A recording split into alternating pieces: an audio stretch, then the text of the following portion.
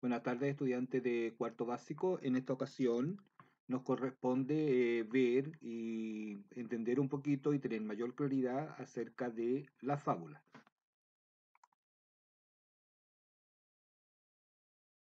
¿Qué es una fábula? La fábula es un relato breve escrito donde los protagonistas generalmente son animales a los que se le atribuyen características humanas, en este caso la personificación. Las fábulas tienen como propósito dejar una enseñanza o moraleja, la cual va escrita al final del texto. ¿Te sabes alguna fábula? Nómbralas. A. Por eso los animales hablan o hacen cosas como los seres humanos. Eso es la personificación.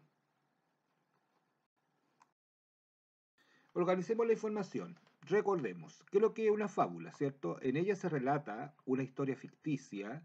Las fábulas contienen narrador, personajes, acontecimientos. El narrador es el que cuenta o relata una historia.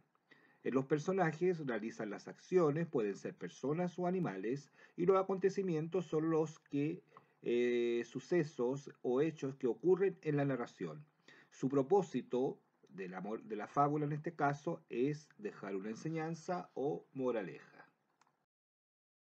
Recuerda que como texto narrativo las fábulas, al igual que los cuentos, presentan una estructura. ¿Cuál es la estructura de la fábula? Tiene un inicio eh, donde se presentan los personajes y a la trama principal de los hechos. Tiene el desarrollo, se desarrolla la acción, se presenta el nudo o conflicto y el desenlace se presenta la solución del conflicto. Todo esto también tiene como la fábula en su característica especial una moraleja, que es la enseñanza que deja la fábula. Espero haya entendido o tener mayor claridad sobre este contenido para realizar tus actividades de tu guía de trabajo. Ahora, realizar tus actividades, nos vemos. Cuídate mucho, que estén bien.